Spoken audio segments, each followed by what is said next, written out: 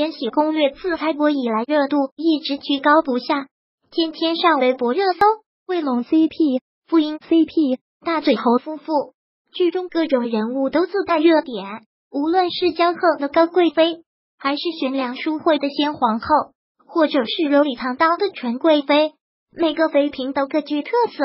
除了皇帝身为这后宫万花丛中的一点绿，最让人印象深刻的就是乾隆身边的太监李月公公了。呆萌的李公公凭借自身美丽，也吸引了一波宫粉。除了李公公，古装剧中还有哪些公公让你记忆犹新？最后一个你绝对想不到，能一延禧攻略，李煜。纵使乾隆皇帝身边的嫔妃换了一个又一个，李公公却一直默默守护在皇帝身边。李公公大概是剧中最大的一个调味剂了，纯绿色、无污染、无公害。他圆滚滚的身体，肉乎乎的脸蛋，十分讨喜。每次皇帝一不开心，就会出现李公公被皇帝踢屁股的场面。让人忍俊不禁，再加上小眼神里全是戏，李公公吸引了一大波的宫粉。每次看《延禧攻略》的时候，都可以看到弹幕中一大波刷李公公的。看来李公公的人气不输给任何一个妃嫔啊！No 二龙门飞甲羽化田，在大家的认知里，公公一定都是过于阴柔女气的，而能将公公演绎的如此柔美，妖而不俗。大概只有陈坤了。陈坤在《龙门飞甲》里饰演的雨花田面容俊美，倾城绝色，七分妖孽，三分仙气。玉公公一出场就秒杀众生，被大家戏称为“产花大人”。只是这样一个有野心的人，却是一个公公，不由得让人觉得可惜。No 三天下第一，曹正淳。天下第一是一部很经典的武侠剧，那时候霍建华的颜值在线。叶璇还是美貌惊人，而邓超还没有现在这么出名。里面每个人都是武林高手，甚至连其中的太监都是绝顶高手。曹公公本人就是武功最高强的公公，不输给任何一个武林人士。因为自小进宫修炼的又是童子功，所以曹公公的武功境界极高，简直独孤求败。虽然曹公公是剧中大反派。但其实也是个被父亲近身、亲手送进宫的可怜人。能四西龙门客栈，曹少卿一直以来甄子丹都是以硬汉的形象出现在大众面前，谁能想到他曾经在西龙门客栈里串演过曹公公？这是甄子丹早年的作品了，不知道是不是每个管理东厂的公公都有一颗篡位谋权的野心，曹公公也不例外，蛮横嚣张。霸气侧漏，杀起人来也是心狠手辣。本来甄子丹演曹公公只是友情客串而已，加上白里透红的妆容加成，反而让更多的人记住了他。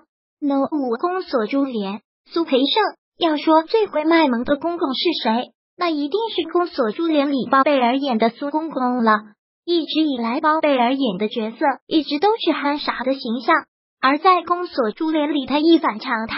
将大太监嚣张跋扈、仗势欺人的形象演绎的淋漓尽致，对着皇帝卑躬屈膝，对着其他太监们横行霸道。包贝尔演出了一个太监的两面派，捧高踩低，而他在剧中时常口吐金句，堪称宫廷版职场达人。能有少年大钦差许安、老干部靳东大器晚成，这两年好作品不断，无论是在《欢乐颂》里还是《伪装者》中。他都一副精英模样，有没有想到现在的老干部曾经也饰演过公公角色？大家一定很难想象靳东扮演公公的模样吧？年轻的靳东散发着公子如玉的气质。他在《少年大钦差》中饰演的徐安，为了报仇进宫当太监，即便是现在看，还是要感慨：怎么能有这么帅的太监？No 七至尊红颜，钱小多。身为皇帝和妃子们身边人，每个宫女和公公都要时刻小心谨慎，一不小心就一命呜呼了。延禧攻略中的明玉就被纯妃扎了银针，时刻饱受痛苦。而让觉得最惨的公公，一定是至尊红颜中的小多了。曾经和武媚娘、薛莹莹一同长大，为了主子晋升进宫，最后却被曾经的好友莹莹算计，断手又断脚。还被折磨的生不如死，最后凄惨离世。这一定是很多人童年的阴影。大概没有哪个公公比小多更惨了。No 八绣春刀，招靖州。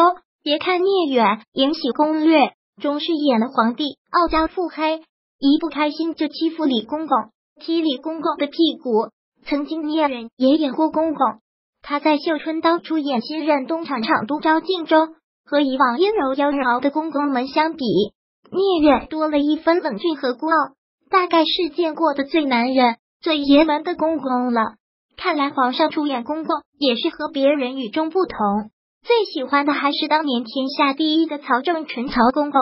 这些电视剧中的公公，你最喜欢哪一个？每部古装剧一定有一个令人印象深刻的公公。